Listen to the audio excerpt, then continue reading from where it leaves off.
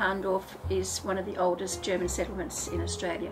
And the ladies would actually walk from Hahndorf into Adelaide with their produce, go to the market, and then walk back up the hill. So it was quite a, quite an achievement for them. I don't know what the men were doing. Probably having a good time. Because it's such a beautiful region, we've got wonderful wines, and Adelaide is extremely blessed that we can do that so close to the Adelaide city. We're only 20 minutes away.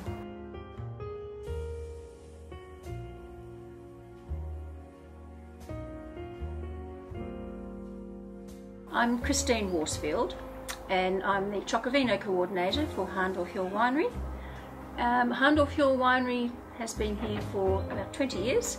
The original owner was a German man and he came out here because his daughter married an Australian so he came out to make sure she was being looked after. When he did come he brought two grapevines with him. One is a Blaufränkisch which is an Austrian Pinot Noir and the other is Trollinger which is a German red wine grape. And we still continue today with these same grapes we are still the only producer of these in Australia.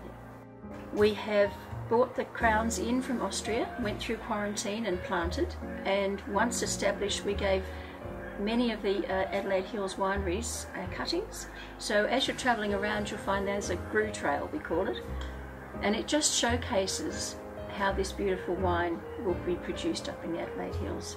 It's a very exciting concept. So we actually make this in three different styles.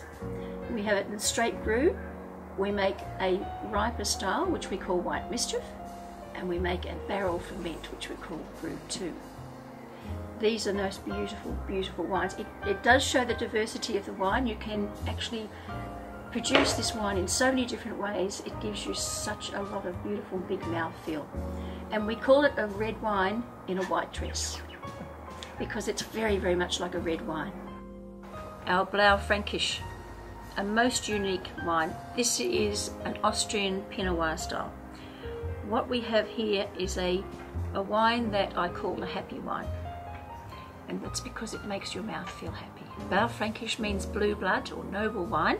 And what you're going to take is blueberries and black cherries, plums, all the spices you find at Christmas, like cinnamons, so when you take this wine, just have a little sip.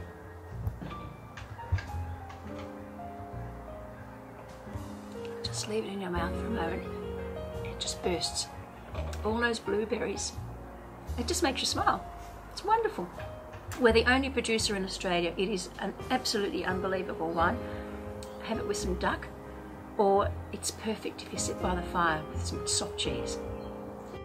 Well, I think technology to engage with the audience is is something that if you don't embrace it, then you're quite lost in the industry now.